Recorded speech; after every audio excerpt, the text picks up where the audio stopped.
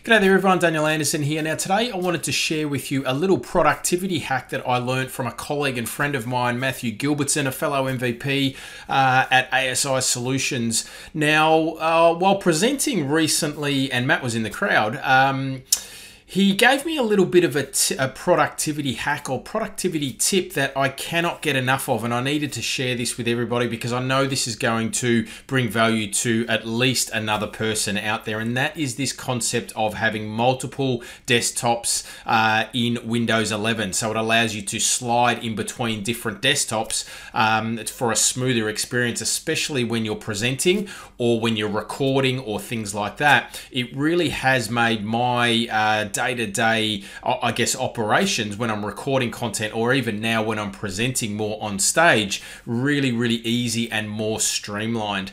Now, you can use this in your day to day work as well. So you might have different tasks that you're uh, that you're doing throughout the day, and you can just simply uh, switch between different desktops to be able to get to uh, whether it's an open browser or your email or your task list or something like that. So let's have a look at how we set things up, uh, and then hopefully that's a little bit of a takeaway for you so that you can uh, go and have a try and implement this into your work as well. So we can see here, I'm just in, like I'm just in a browser here, but in the taskbar, we've got this little icon down here. It's a little black and a clear uh, taskbar down here. So what I can do is I can click this taskbar and it opens up uh, my desktops. So you can see that we can add multiple desktops. I've already got three that I've created here, and you can see that I've got desktop one, which has got a browser or the Microsoft Purview Admin Center. I've got Desktop 2, which is a which is Copilot, and then I've just got a, a, a Loop um, or my Loop workspace open in Desktop 3.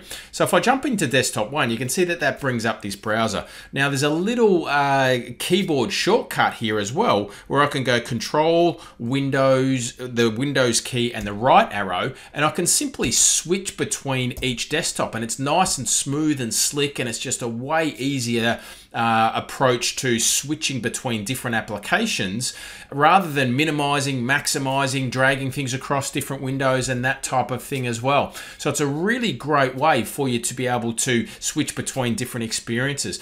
So I just wanted to share that with you um, as a little bit of a productivity hack. Uh, and thank you, Matt, for sharing that with me. Uh, and I hope that brings you some value today.